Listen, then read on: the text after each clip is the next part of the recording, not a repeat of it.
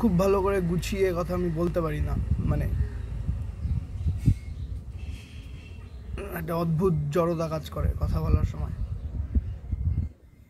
লেখার সময় জড়তাটা থাকে না, লেখার সময় আমি অনর্গল লিখে যেতে পারি, কিন্তু কথা বলার সময় একটা অদ্ভুত জড়তা কাজ করে আর একটা, কি জানি, কি, কিন্তু তো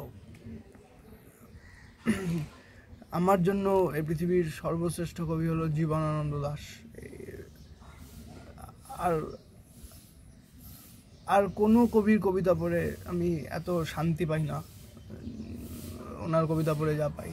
তো লোকটা বেঁচে থাকতে খুব একটা কিছু পাইনি উনিশশো বত্রিশ সালে লিখেছিল রূপসী বাংলা, সেটাও প্রকাশিত হয়েছিল উনিশশো সাতান্ন সালে, মৃত্যুর পর তাও পস্তমাসলি সেটার একটা ইন্টারেস্টিং ব্যাপার আছে। ওটার প্রচ্ছদ পটে গেছিলেন সত্যজিৎ রায়। তো আমি আমার আমার খুব প্রিয় একটা কাব্যগ্রন্থ, রূপসী বাংলা। খুব কম লোকে সেগুলো পড়ছে আজকাল, দেখছি। ছেলে ছেলে মেয়েদের কাছে পৌঁছাচ্ছে না। খুব কম ছেলে মেয়ের কাছে পৌঁছাচ্ছে।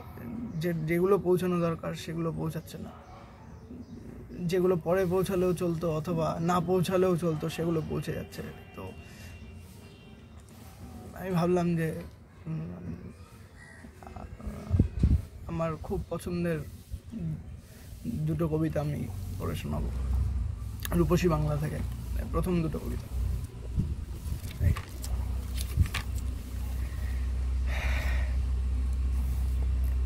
সেই দিন এই মাঠ স্তব্ধ হবে না কো জানি, এই নদী নক্ষত্রের তলে সেদিনও দেখিবে স্বপ্ন, সোনার স্বপ্নের স্বাদ পৃথিবীতে কবে আর ঝরে? আমি চলে যাব বলে চালতা ফুল কি আর ভিজিবে না শিশিরের জলে? নরম গন্ধের ঢেউয়ে লক্ষ্মী বেচা গান গাবে নাকি তার লক্ষ্মীটির তরে? সোনার স্বপ্নের স্বাদ পৃথিবীতে কবে আর ঝরে? চারিদিকে শান্ত বাতি ভিজে গন্ধ, মৃদু কলরব, খেয়া নৌকাগুলো এসে লেগেছে চরের খুব কাছে।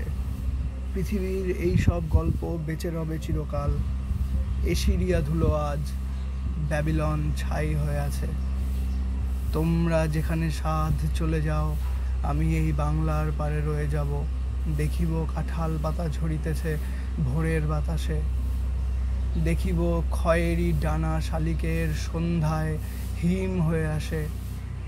ধবল রোমের নিচে তাহার হলুদ ঠ্যাং নেচে চলে একবার, দুইবার। তারপর হঠাৎ তাহারে বনের হিজল গাছ ডাক দিয়ে নিয়ে যায় হৃদয়ের পাশে। দেখিব মেয়েলি হাত, সকরুণ, সাদা শাখা ধূসর বাতাসে শঙ্খের মতো কাঁদে।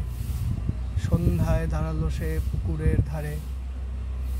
খৈরঙা হাসটিরে নিয়ে যাবে যেন কোন কাহিনীর দেশে। পরন কথার গন্ধ লেগে আছে যেন তার নরম শরীরে।